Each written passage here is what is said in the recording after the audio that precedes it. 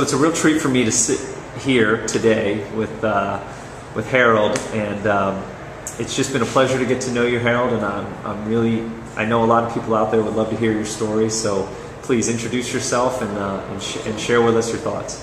Well, my name's uh, Harold Weatherly, and uh, I've got a little bit of a lost voice right now, but uh, um, just part of the fun.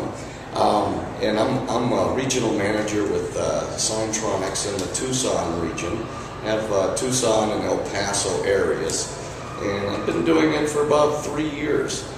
And what I love about this company is the freedom that it gives you.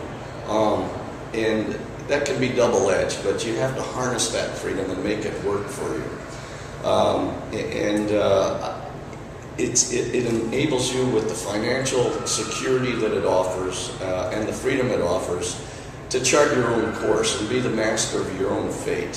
Um, one thing that I, I, I, live by is if it's to be, it's up to me because nobody's going to come out there and do it for me. And uh, I also uh, like to quote Zig Ziglar. He's, he's, people don't like to be sold, but they, they love to buy. And so you approach it from that angle. And, and this is soft sales. This is not hard sales. Um, it's a show and tell, basically. Product sells itself. Number one, we got the best product in the world. It does what it says we do.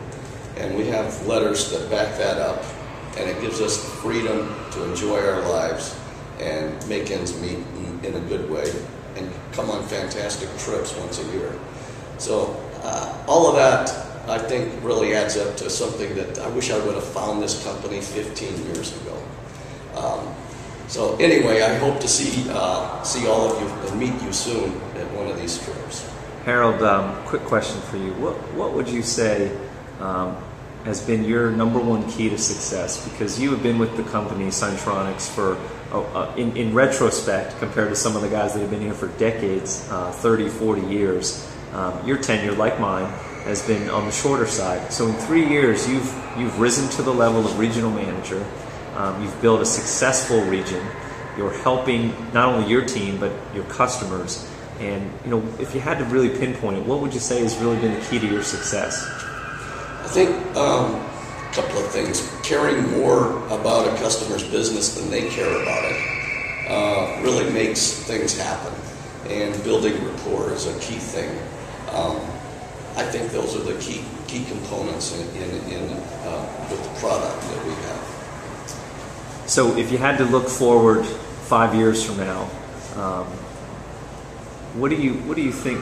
Where do you think you'll be, Harold, with uh, with Signtronix five years from now? I'm going to be your boss. Excellent. no. Excellent goal. Excellent goal.